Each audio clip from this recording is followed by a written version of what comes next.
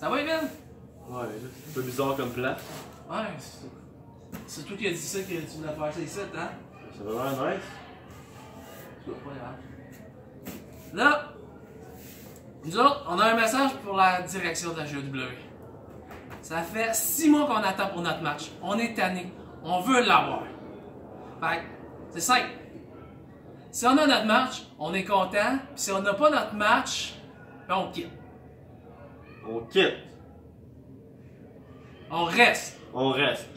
Si on n'a pas notre match, on reste. En Spring War, on veut notre match par équipe. On est tanné d'attendre. On le veut. Fait que moi puis Emile, là, on va faire tout ce qui est possible pour avoir notre match par équipe. Même si on reste, si on l'a pas. Ouais, on reste.